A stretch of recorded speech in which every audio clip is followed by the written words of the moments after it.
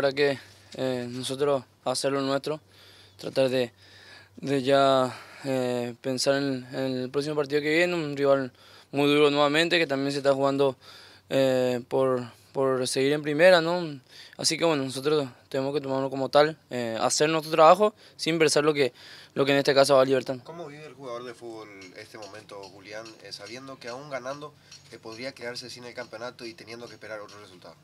Duele, evidentemente, porque estamos Olimpia. Olimpia siempre, eh, todos sabemos que, que tiene que pelear todos los, cada, cada torneo del campeonato y bueno, eh, esta vez lo hizo, ¿no? La verdad que eh, el grupo sabe que pase lo que pase, hasta el último momento dio todo del sí, bueno, y por eso es que en la última fecha estamos todavía peleando el campeonato, pero estamos muy esperanzados en que, que Dios quiera la Virgen una, una finalísima.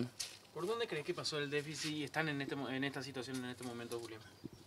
No, no, no déficit, ¿no? El, el, fútbol eh, es difícil muchas veces explicar. Eh, partidos, hemos ganado partidos increíbles y, en el caso de Guaraní, pero partidos que, que evidentemente eh, muchas veces uno no, no, está en los planes, ¿no? como fue en el General Caballero, pero bueno, eh, hay que jugar los, partidos, el partido perdimos no dolió, pero bueno, ahí seguimos luchando, seguimos con la ilusión y voy a repetir, nosotros estamos muy confiados en, hacer lo nuestro y bueno, ya eh, luego ver qué, qué, pasa en el siguiente partido. ¿Pensás justamente que fue ese partido contra Libertad y contra General Caballero lo que lo trajo a Olimpia hasta, hasta este, este momento o esta fase?